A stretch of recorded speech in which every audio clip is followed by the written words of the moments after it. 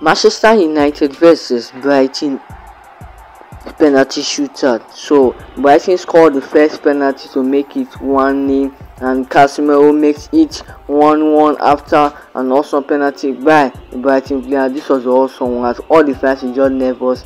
And also Brighton makes it 2 1 with David De Gea who couldn't even save the penalty and Diego Dalot awesomely plays the penalty well and up place it and aim the penalty at the right spot to make it 2 2. This was also one with Brighton McAllister making it 3 2 awesome one. And even Jadon Sancho aimed the post and this was awesome one from Jadon Sancho. And he placed it at the back of the net and celebrated with David De Gea as he makes it 3 3 and this was awesome one guy.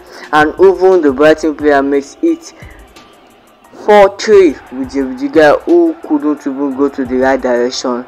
And this was awesome and Marcus Rashford the top scorer for Manchester United this season makes it 4-4 as this was awesome for Marcus Rashford.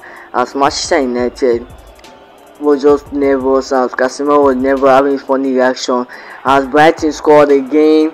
Ah and even the Bayern Munich loaner as it came from Bayern Munich to Manchester United this season. Marcel Sabitzer places at the back of the net. And also one from the Brighton player and this was also one guys as Brighton makes it 5-4 as as then Manchester United scores with Van Beekhoff who made it 6-6 as he kicks the ball and March misses the penalty as he makes it 6-6 as he missed the penalty and Manchester United had the last chance to score the penalty and win the match at Wembley Stadium in order to go to the final to face Manchester City and the Iceman Victor Lindelof scores for Manchester United as Manchester United has to the FA Cup final. It is just celebration, celebration. Thanks for watching, guys. Please do the subscribe.